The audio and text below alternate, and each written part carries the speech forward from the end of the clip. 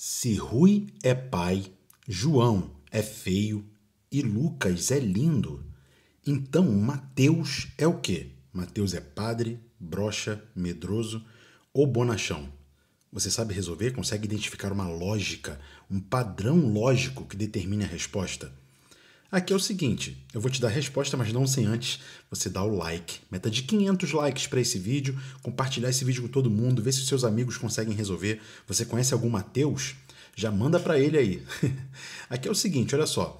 Repara na quantidade de letras. Rui tem três letras. E o Rui é pai.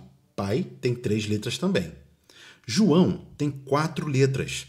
E feio tem quatro letras. Lucas, uma, duas, três, quatro, cinco. Cinco letras. E o lindo também tem cinco letras.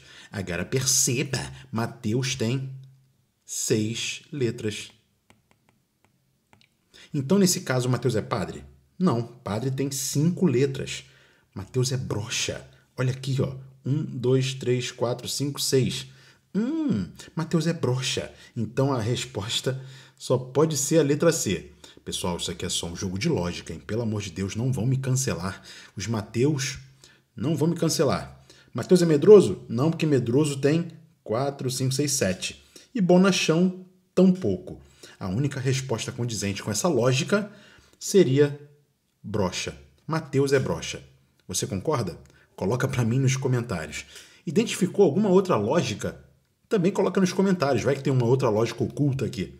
Aqui eu percebi foi essa esse probleminha aqui ele viralizou, por isso eu estou trazendo para vocês. Muita gente mandou para mim, então eu trago para vocês aqui esse problema de raciocínio lógico. Então, se você conhece algum Mateus, se você tá, conhece algum Rui, algum João, algum Lucas, já manda para eles aí, compartilha com todo mundo, vê se a galera consegue resolver e vem com Procópio. Você não está sozinho, eu tô contigo. Até a próxima. Tchau, tchau.